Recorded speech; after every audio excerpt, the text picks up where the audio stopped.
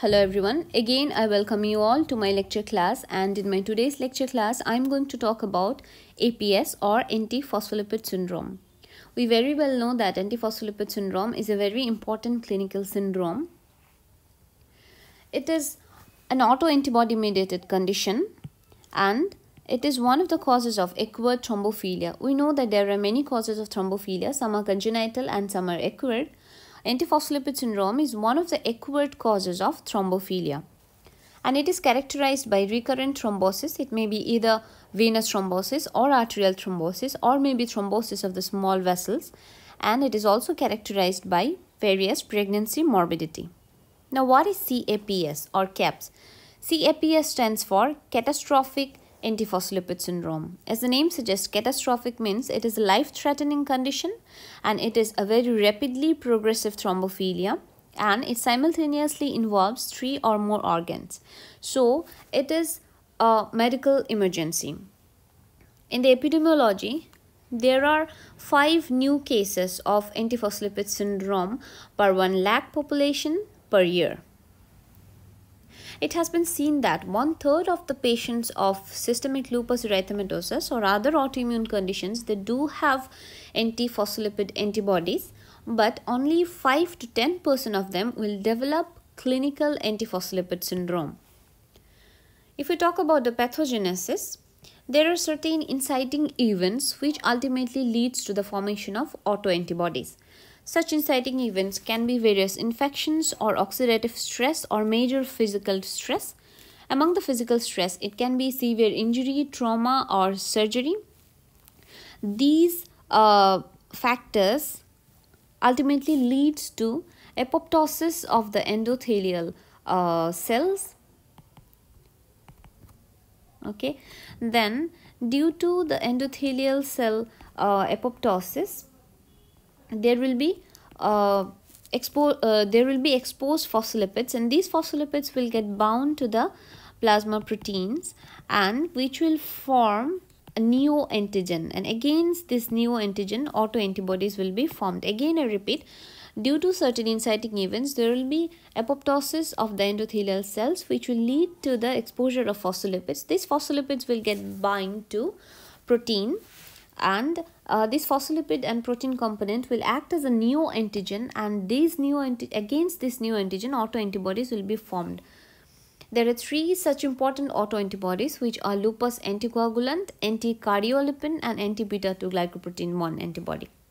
Now if we talk about the signs and symptoms, the signs and symptoms will depend on the uh, depend on the uh, area which is thrombosed for, in, uh, for example, in case of venous thrombosis, the patient may present with uh, DVT, deep vein thrombosis. The patient may present with pulmonary embolism. The patient may present with superficial thrombophlebitis.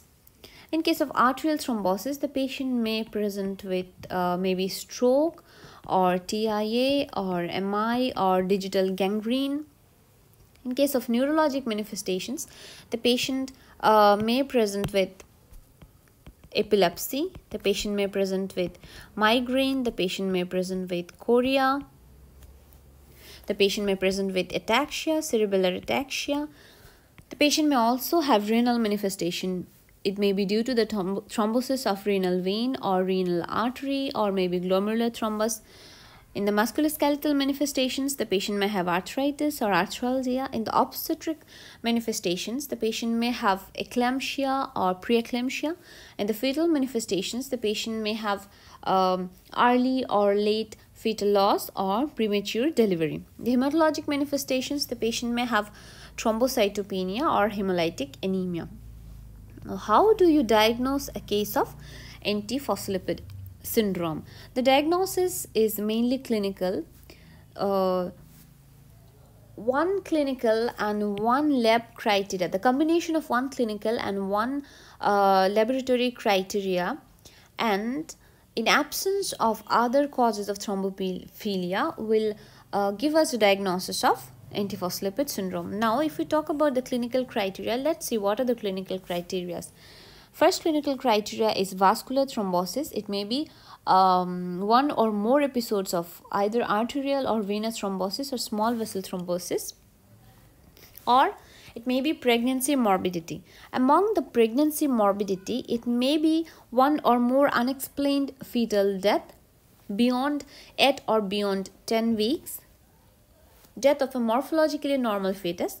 Okay, the second, it may be one or more premature death of a morphologically normal fetus before 34 weeks of gestation and it may be three or more unexplained consecutive spontaneous abortion before 10th week of gestation.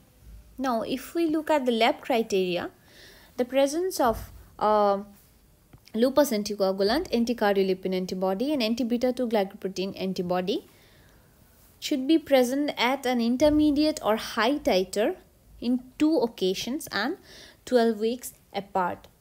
So, we have discussed the clinical and lab criteria out of which one clinical and one lab criteria should be present and there should be absence of other causes of thrombophilia to diagnose the case as antiphospholipid syndrome. Now, how do we manage a case of antiphospholipid syndrome? Once we have diagnosed a patient with antiphospholipid syndrome, they should be on lifelong anticoagulation. Okay, it can be with only warfarin or it can be uh, with warfarin and aspirin combination. In case of pregnancy morbidities, pregnancy morbidities can be prevented with use of low molecular weight heparin along with aspirin 80 milligram daily.